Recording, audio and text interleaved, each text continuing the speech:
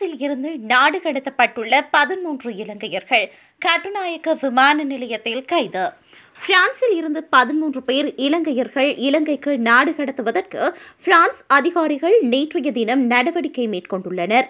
பல நாட்களாக கப்பலில் கடல் மார்க்கமாக பிரான்சிற்கு பிரவேசிப்பதற்கு தயாராகி பிரான்சிற்கு சொந்தமான ரீயூனியன் தீவிற்கு பயணித்து பதிமூன்று இலங்கையர்கள் அந்நாட்டு கரையோர போலீசாரால் கைது செய்யப்பட்டனர். கைது செய்யப்பட்டவர்கள் சில நாட்களாக தடுத்து வைக்கப்பட்டிருந்த நிலையில் விசாரணைக்கு பின்னர் அவர்கள் நாடு கடத்தப்பட்டுள்ளதாக குறிப்பிடப்படுகிறது. குறித்த பதிமூன்று இலங்கையர்களுடன் பிரான்ஸ் விமானம் ஒன்று பிரான்ஸ் போலீஸ் குழுவுடன் நேற்று அதிகாலை இலங்கை சென்றடைந்துள்ளது.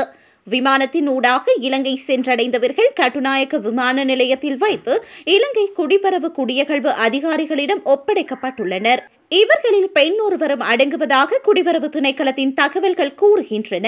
இவர்கள் சட்டவிரோதமான முறையில் நாட்டை விட்டு வெளியேறியுள்ள நிலையில் இவர்களில் பதிமூன்று பேரும் விசாரணைக்காக குற்றப்புலனாய்வு பிரிவினரிடம் ஒப்படைக்கப்பட்டுள்ளனர். விசாரணையின் பின்னர் இந்த குழுவை படகு மூலம் ரீயூனியன் தீவுக்கு அழைத்துச் சென்ற நபர்களையும் குற்றப்புலனாய்வு திணைக்களம் அடையாளம் கண்டுள்ளது.